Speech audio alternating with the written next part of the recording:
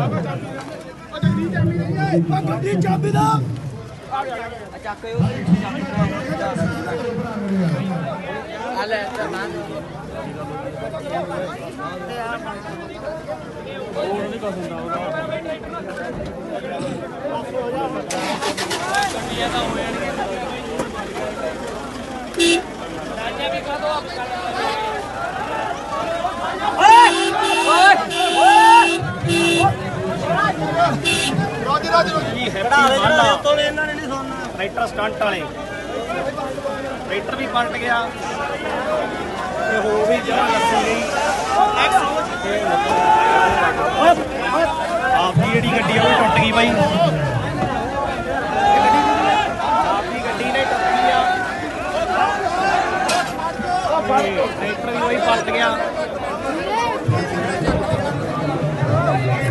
ਬਾਈ motorcycle ਵੀ ਆ ਦੋਵਾਂ ਦੀ ਆ ਸਕੂਟਰੀ ਦੀ ਵੀ ਬਾਈ ਜਮਾ ਜਖਣਾ ਕੱਢੀ ਗਈ ਆ।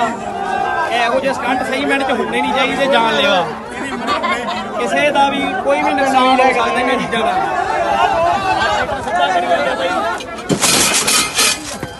ਜਿਹੜੀਆਂ ਚੀਜ਼ਾਂ ਨਹੀਂ ਹੋਣੀਆਂ ਚਾਹੀਦੀਆਂ ਉਹ ਗਲਤ ਆ।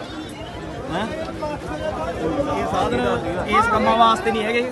ਵਿਚਾਲੇ ਲਾਏ ਇਹ ਜ਼ਿਮੀਦਾਰ ਦੀ ਖੇਤੀਬਾੜੀ ਸਾਧਨਾਂ ਨਾਲ ਕੀਤਾ ਕੰਮ ਵਾਹਿਗੁਰੂ ਜੀ ਖਾਲਸਾ ਵਾਹਿਗੁਰੂ